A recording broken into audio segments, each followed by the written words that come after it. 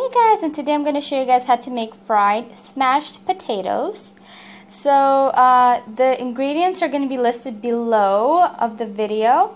So go ahead and, and go there and check out. But we'll need some potatoes, some, uh, I'm using mild cheddar, and so you can use any kind of cheese and grated. We're going to need some parsley, olive oil, sea salt, and ground pepper. So let's get started.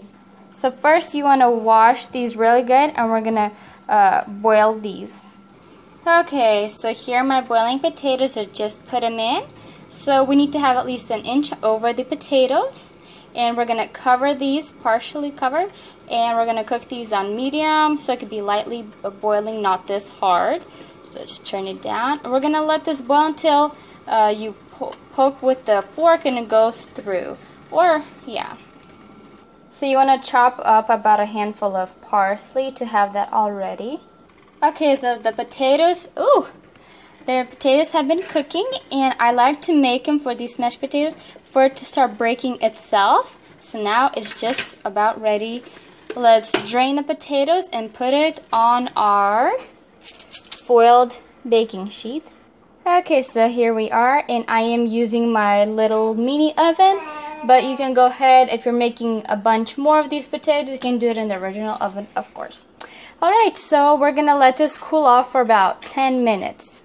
Okay as these have cooled we need a potato smasher and we're just gonna smash these down just uh, leaving like a quarter inch not a quarter half an inch uh, thickness. So make sure you don't go smash it too much yay just like that so about like half an inch to an inch, it has to be pretty tall. So I would prefer an inch tall.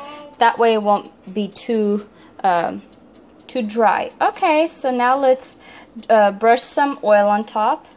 Okay, I've added the olive oil. I brushed it.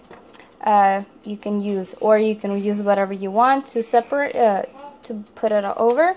Now let's season it with salt and pepper. Alright, salt and pepper.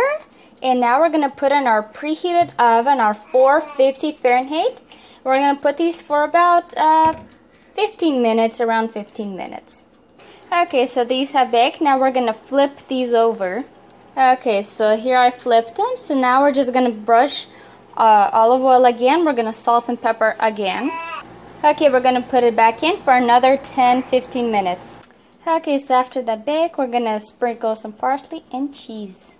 We're going to put it in for the cheese to melt or for about 2-3 minutes. And here we are. You guys enjoy these baked, uh, yummy, cheesy, smashed potatoes.